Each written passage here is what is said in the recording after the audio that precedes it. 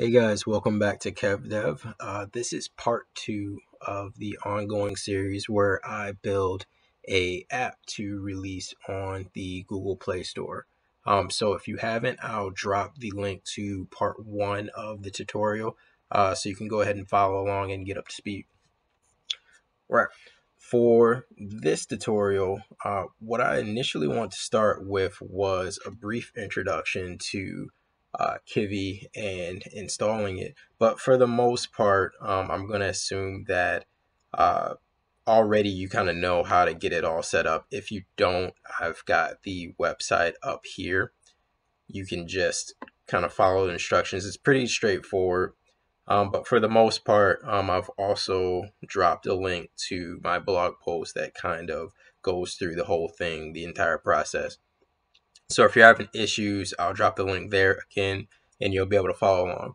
Uh, but for the most part, what this short tutorial was going to be about was um, you need a way to be able to test your Kivy apps on a device. Um, so right now, once you get everything set up, um, you'll be able to both test it on your computer and also on your device. Um, we're going to start uh, with uh, it, it, it's going to be an application called uh, Kivy Launcher. Um, now, to be completely honest, if your goal is to move from uh, releasing a app on the Play Store or the iOS Store, um, eventually you're going to have to move on to um, a packaging application called Buildozer, uh, which is going to require you to use Linux right now everything I'm working on since I'm on Windows, uh, that's pretty much what the tutorial pertains to. Um, however, just know that for the purposes of testing, we'll be working with Kivy Launcher, but going forward on the tutorial, I will be able to show you how to set up a virtual machine um, if you don't have Linux um, installed on your computer, so you're able to follow along with the next steps um, in our tutorial. Uh, but for now, let's jump into it. Okay, so right now I've got a new file open um, in Python IDLE.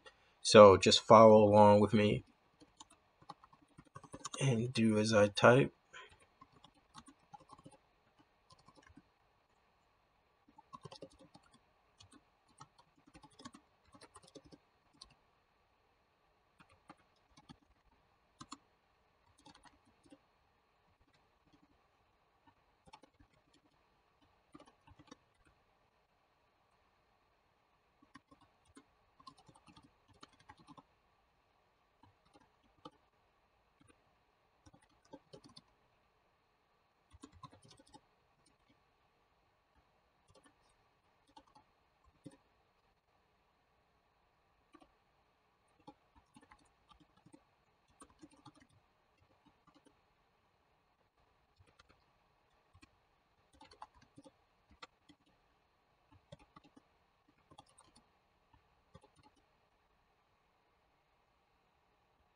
All right.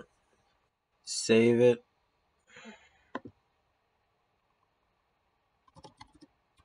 Let's see.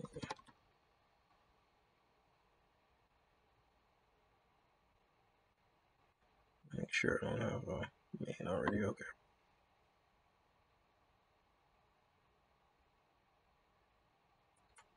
Okay. Now, just looking ahead, I saved it to main. Um, there's one extra thing that I'm going to need to do though. So let's see if I can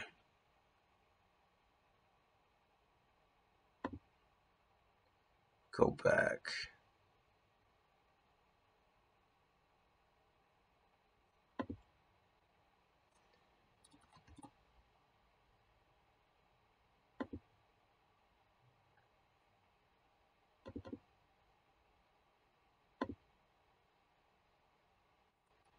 Okay. And again.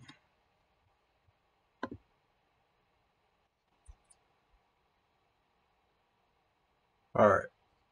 So the next step, you can just open any type of text editor. It doesn't really matter.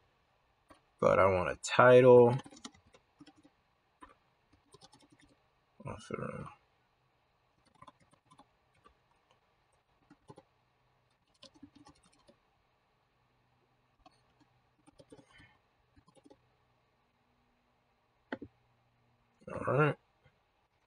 Save as.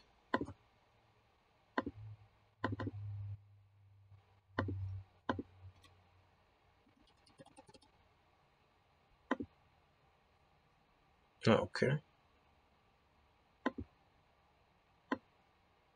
And I skipped a step just to make sure that everything is running properly. Should see something like this. All right, and there you go. A button that says hello world. All right, so all that is set.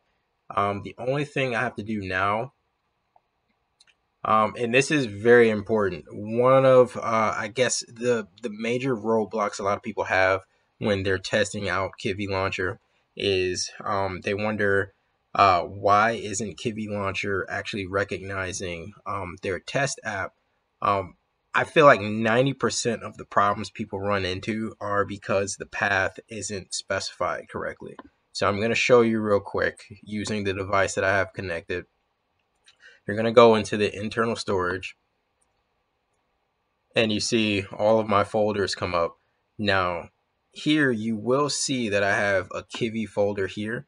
Uh, one thing you should know is that it's not going to automatically generate a Kivy folder when you download the Kivy launcher.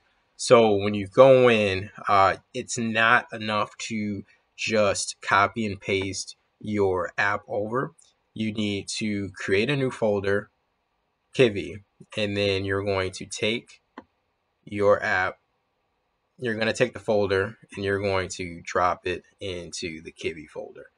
Um, so now essentially when you go ahead and you boot up the Kivy launcher, you will be able to find, uh, it's going to say for, in my, uh, in my example, it's going to say my app and you're going to be able to launch it from there.